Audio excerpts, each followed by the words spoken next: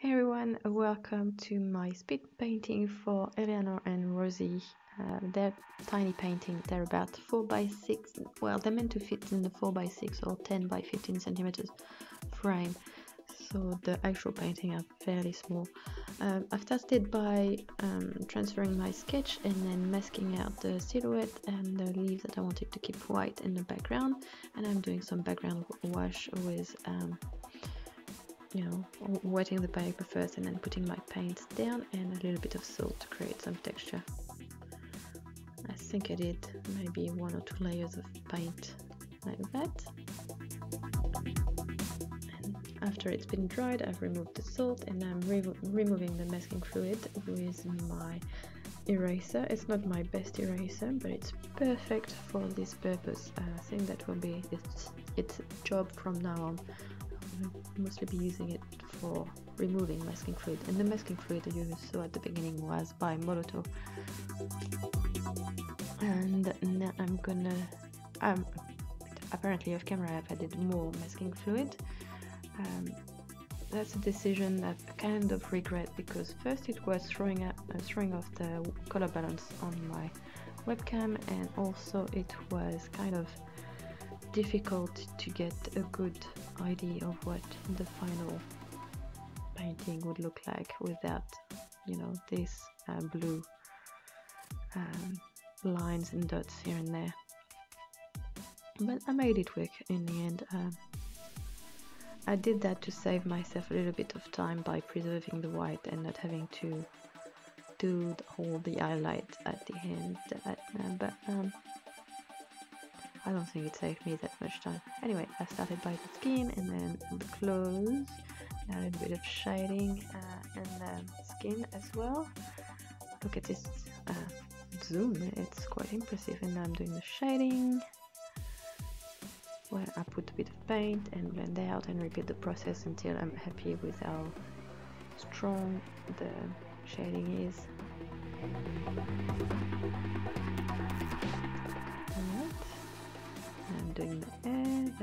Same process.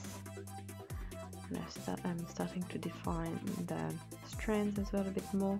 Not so much on the Rosie, Rosie your hair is just one big mass.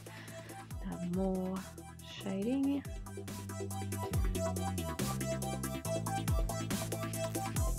And I've used my, uh, as you can see the colors I've used on each painting are complementary color colors and it's working really well.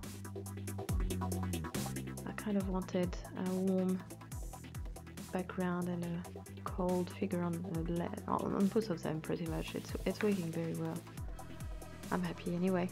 You let me know what you think now some more shading and started starting to work on the details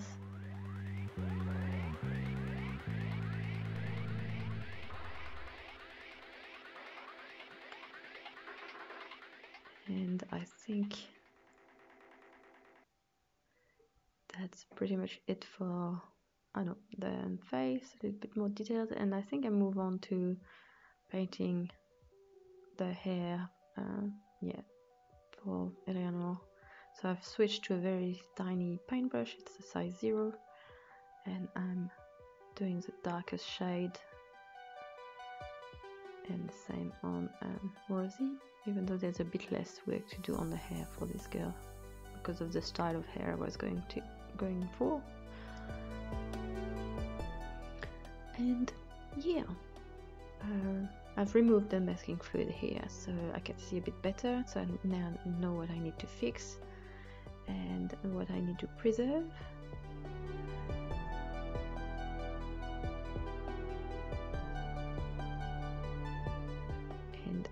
I forgot to trim some of the footage out Sometimes I walk uh, I walk away from my desk without uh, turning off the recording, thinking I will uh, I will edit that out and then uh, forget about it.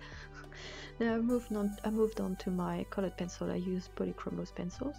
I really like those pencils.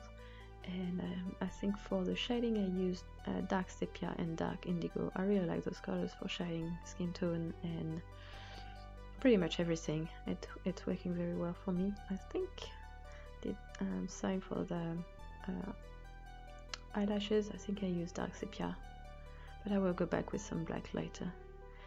I'm using a green, a dark green pencil and uh, not quite sure black or indigo to add some shading in the hair and have some pink to do the blush. I didn't want her and them to have makeup but I did want them to have pinker cheeks a little bit bring a little bit of life in their skin adding a few details in the hair, not much. And now I'm drawing the um, jewelry and painting that in with Faber-Castell gold pen. Um, it's a bit dark. I really need to get a better gold paint. Um, I use it on almost all my paintings, so really I should be getting something a bit better. Now I'm using my general to do some pearls and I'm outlining the pearls to give them some more weight and to show that they're standing up from the skin and I'm doing some highlights with my Gelly Roll pen. And yeah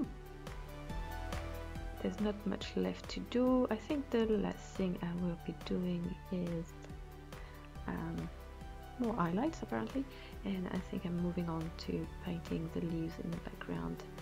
I use uh, white gouache which is a opaque water-based paint um, to redefine and smooth the leaves. They've lost a little bit of uh, their shape uh, and um, background painting and masking out and stuff like that and I'm adding a few splatters of gouache. Really uh, really few of them I didn't want that to be too visible. And I've signed it. Well I'm just about to sign it. Maybe. I'm sorry about that. Um, I'm using my pigment liner to um, redefine the darkest points so under the chin, the eyelashes, under the tiara uh, and signing and that's it. That's it for this one. Thank you all for watching and I'll see you soon. Bye bye.